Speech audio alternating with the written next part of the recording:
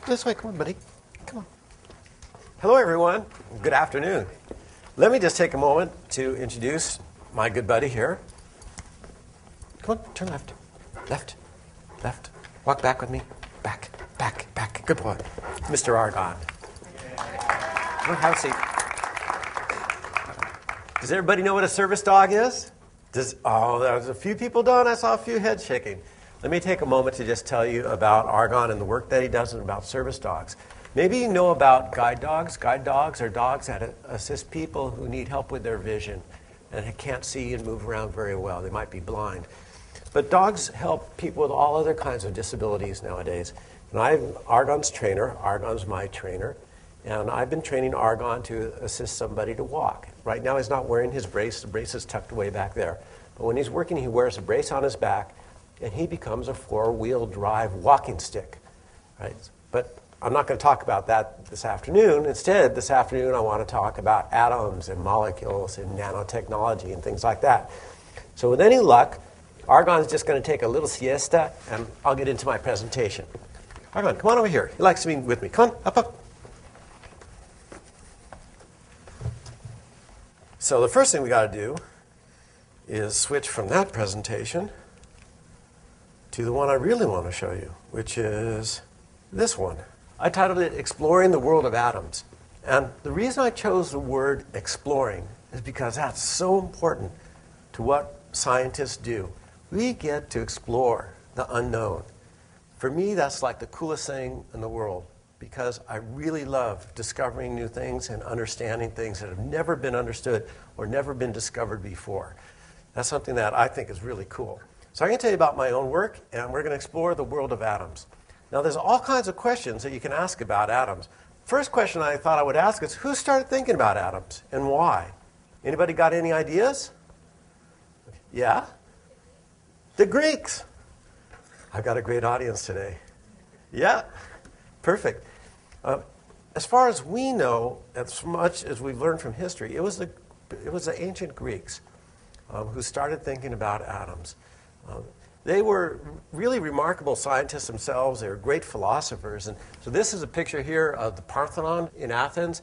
And this is a famous painting from Raphael. And these are supposed to be the great uh, Greek uh, philosophers. Sometimes I think this is supposed to be me just taking a little nap on the steps sometime. Right? Why did they start thinking about atoms? They really wanted to understand the world around them. And they started thinking about, well, how small can things be? And, and one guy named Democritus got the idea that maybe there's a smallest unit, and you can't make things smaller than that. And, and came up with the idea of, of atoms. And he's very famous for this quote of his In reality, there are only atoms and the void. In between the atoms, there's nothing but emptiness. So, what are atoms made of? And so let's build a carbon atom. And the way we're going to build a carbon atom is from the bottom up. And we'll start off with the basics of the nucleus, um, which is made from protons and neutrons. Carbon atoms are really important. Does anybody have an idea what's so important about carbon atoms? It's because I'm made out of a lot of carbon atoms. Carbon atoms are the stuff of life carbon, oxygen, um, hydrogen. They're really important to us. Carbon atoms require six protons and six neutrons, the same number of neutrons as the protons. And then what you do is you just swirl these things together and you make a little nucleus. Well, that's going to be the very center of the atom. So now what we need to do is shrink it down to make room so we can see the electrons that we're going to add. So let's shrink that thing down, make it really small. It's just a little tiny thing there. Actually, I would have to shrink it even more, but then you wouldn't be able to see it.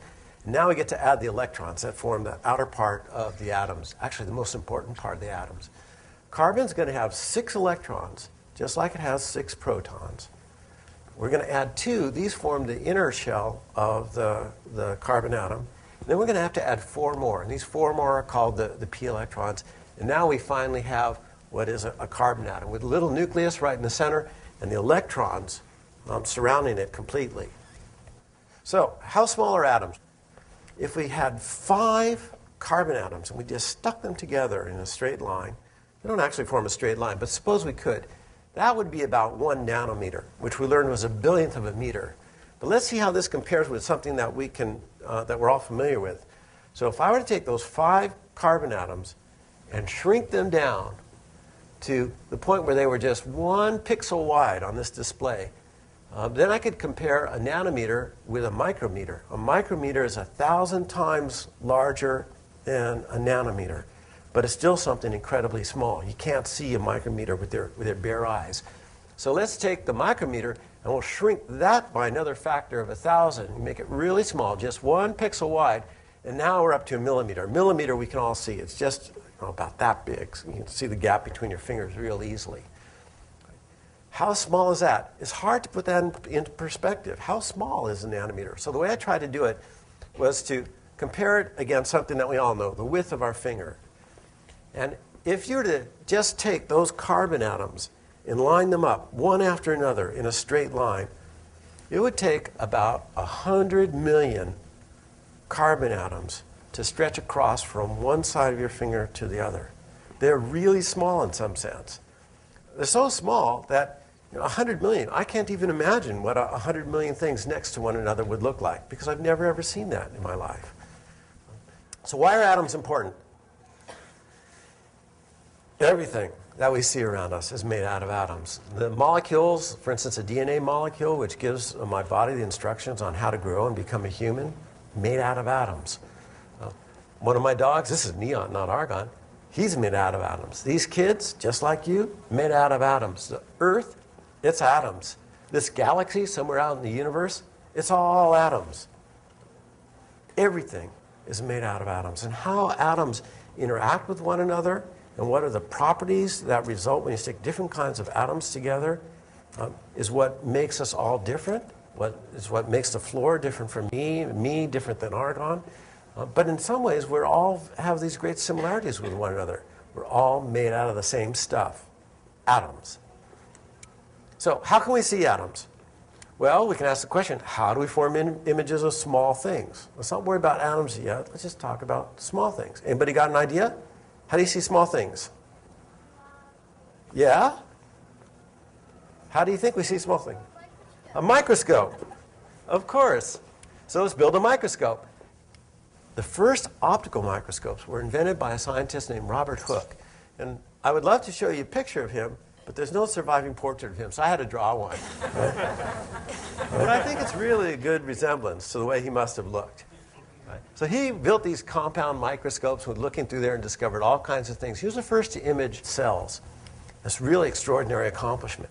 Something that's really important about the way uh, optical microscopes work is they use something called wave optics to magnify something.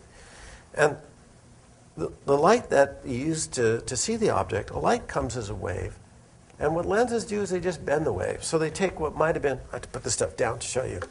They take what, what might have been just a flat wave moving like this, and they bend it and they spread it out. And what happens is, just like the way my fingers spread out as I let my, my hand represent the spreading of a wave, the gap between my fingers, something small, grows to be something large.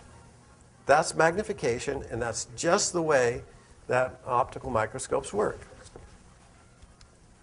Now, optical microscopes are beauties. Here's some old ones here that I'm very fond of looking at. But you can only see down to the, the level of you know, really small bugs or maybe little cells with microscopes like this. And you can't see down to the level of atoms. This doesn't even get close. But there was another microscope that was invented back a little about 80, 80 years ago by this guy named um, Ernst Ruska.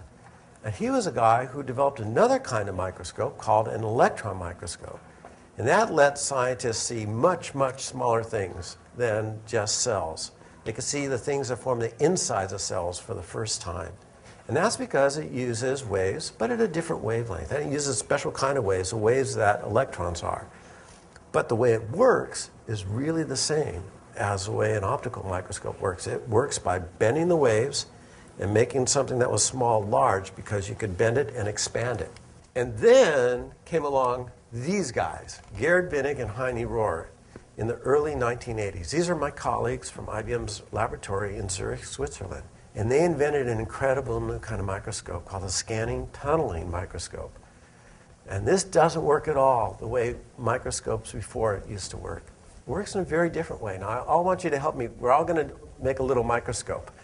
What we're going to do is we're going to form an image of our hand, but we're not going to look at it with our eyes. I want you to take your finger and put it on top of your, of your other fingers like this. Okay, and now just move your finger along.